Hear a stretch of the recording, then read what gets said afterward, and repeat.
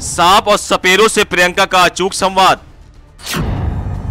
नाग देवता जब खुश होंगे तो प्रियंका को मिलेगा आशीर्वाद।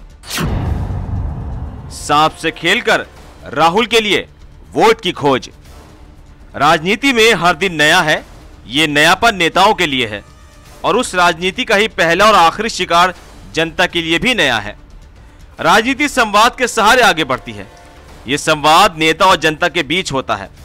जब इनके बीच हुए संवाद आपस में मिल जाते हैं, जब सोच मिल जाती है तो उससे जनप्रतिनिधि का निर्माण होता है। लोकतंत्र में जनप्रतिनिधियों की अपनी ही अहमियत है। अहमियत जनता की भी है, जो सर्वोपरि है। आखिर उन्हीं के मत से जनप्रतिनिधि बनते हैं। उन्हीं के वोट से दिल्ली जाने के लिए रास्ता तैयार होता है।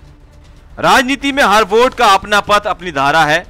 कांग्रेस महासचिव प्रियंका गांधी शायद इसी बात से वाकिफ है। इसलिए संवाद की धारा के लिए सपेरों के बीच आई हैं। राजनीति को साथ लेकर ताल मिला रही हैं। उनके पीछे उनके विचारों की समर्थक जनता की गर्मजोशी में प्रियंका के संवाद की धारा बह रही है। प्रियंका के लिए सब नया है। यहाँ सपेरा अपनी बातें बता रहा है।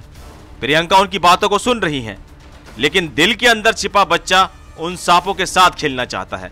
वो रह रह कर कोशिशें भी कर रही हैं।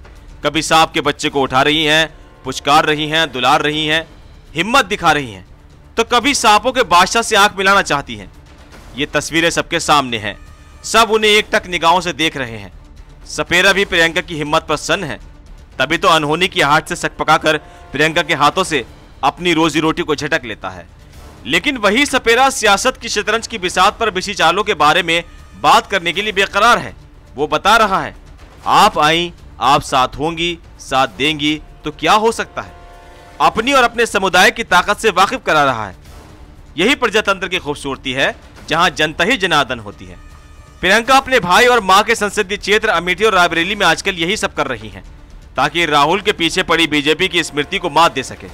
जनता से अपने संवाद के ज़रिए मतों का ऐसा हिमालय तैयार करना चाहती हैं, जिसकी चोटी से राहुल दिल्ली को आसानी से देख सके। कुछ अपनी कहें और कुछ औरों की बात सुन सकें।